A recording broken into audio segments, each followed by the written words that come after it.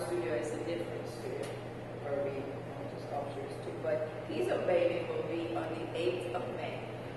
It will be the Eisenhower right in front of the Aerospace Museum. And here you can see the cave of Michelangelo from farther away. You can see the mold and the mold maker.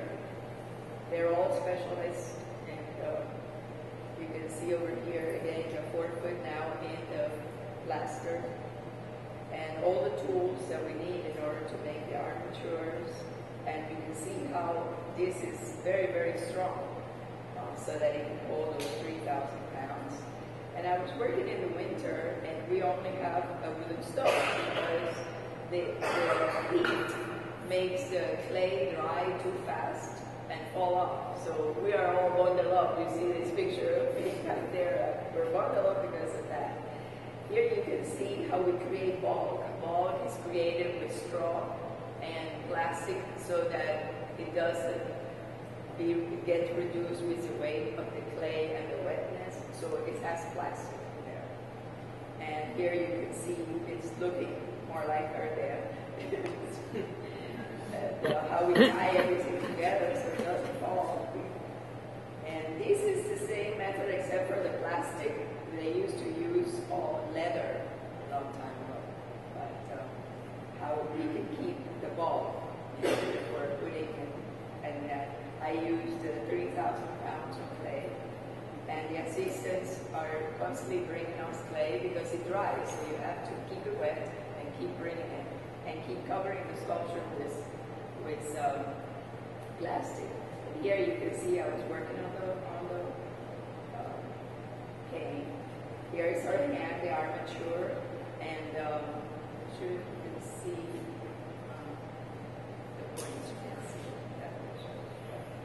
And um, so you can see the bottom here also how it's. Um, and these are my assistants with the pantograph, which is the machine with the two needles after we're measuring the points to transfer them. And now you can see the points. You see, they were about also 3,000 points, just like the, the, the amount of, of clay, but 3,000 points. And you can see how close together they are. And what it does, it measures the low areas and the high areas so that we can copy from the other sculptures to that exactly. And it's amazing. It was started by the Greeks, this method, and then it was uh, refined by Leonardo da Vinci in the Renaissance. Around, of course, part of the studio and in Italy, coffee, and a little bit of sweets, a little bit of focaccia at 10 o'clock.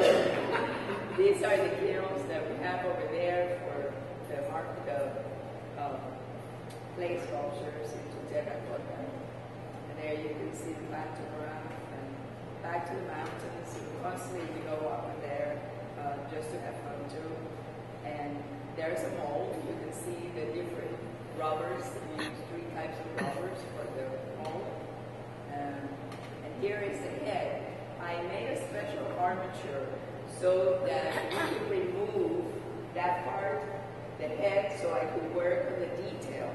Not up, you know, so high with my arms up like this and not be able to get to see the detail right in front of me because then it gets distorted. You know, if you see something like this. So I had it made, and they were like funny because they said, wow, all these years and we never did that. We always clapped out there. It's like a woman has to come in and has to make it easy, you know, has to make it easy. So, uh, and you can see with the clay working and the, the tools and then the armature in the middle, and those things were just so we could lift it because it's so heavy, and we can put it back on. So also about expression, I wanted her to have a friendly, because she was, she had so much charisma. So I wanted her to have this charisma and also show uh, kindness and also the age of when she had already accomplished a lot. So that's, uh, and you can see her blouse. Uh, she's wearing her pearls, which I noticed in her all her photographs. She was a very sharp dresser, and she would always wear her cap and gown, uh, the gown open, and all these pictures, but even when she gave her, her speeches, and I said, why is that? And I started trying to figure it out. I said, well, you know what? Maybe she wanted people to see how nice she was dressed. She didn't want to cover herself. But for, for my purpose, I see it as her two personalities. The one of the one that went to Washington and worked on civil rights, and the other is the educator. She they got her there. Okay? So she is two personalities. So I did make her. I think she would be happy that it was open. You know, just so. You can see the size here. Every day, this were all changed so that I could walk around, all around the sculpture, and up and then down. Um, it keeps you in good shape. So back to the marble because I keep getting offers, you know. Now it's up to three times. so our sculpture is becoming more valuable and uh, here she's almost, but I'm putting all the plastics, see, because at the end of the day, this is a, a shore. You have to spray it and cover it all with plastic so that it doesn't dry out. And here she is pretty much, um, doesn't have the flower yet, but you can see the cane uh, um, I did it separately, put it there, and her shoes, and just like the shoes that she wore. And now you can see the rose. And um, there's uh, our mountains and the cave. And uh, this is in the plaster. Now she's left in Italy in plaster.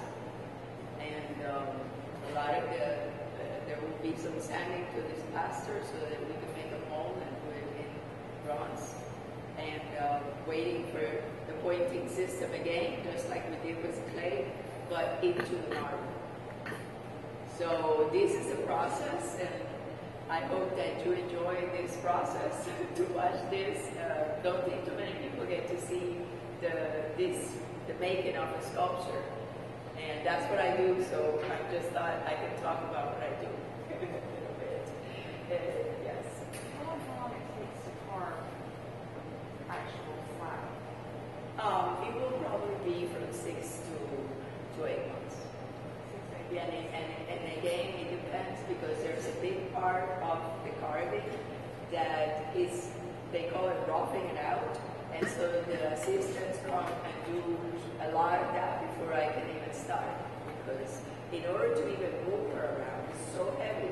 Order to get the cranes and everything to move and start working, we need to get it to a certain point before we can even put the point do the pointing system. So from six to eight months, depending on how many people we're working on it. Yes. Is that a four foot tall plaster we're looking at right there? Is that the four foot or is that the eight?